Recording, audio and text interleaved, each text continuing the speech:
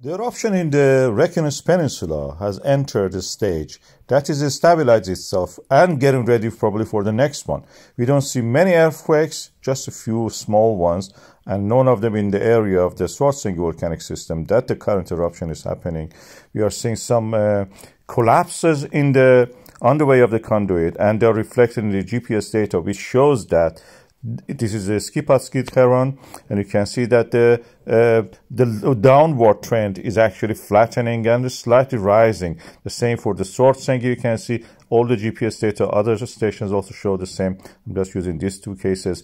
That shows the pathway for the magma to reach the uh, ground has actually somehow blocked, is narrower. So the magma which enters to the uh, reservoir is actually rising the ground again.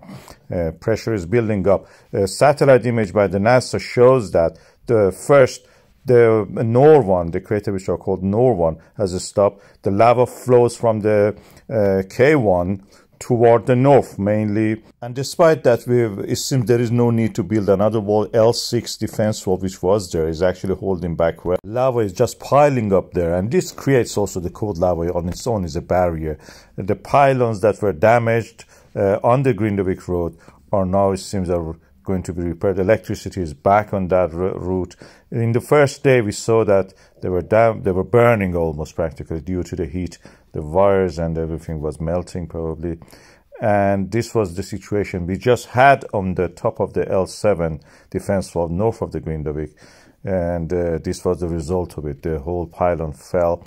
Uh, the lava flow, as I mentioned, is toward the north. The two uh, active vents, which was the K1 and the one which are called NOR1, were the only remaining ones erupting still. NOR1 has stopped uh, erupting. This was the abbreviation I used for the North one. K1 is just the active one at the moment.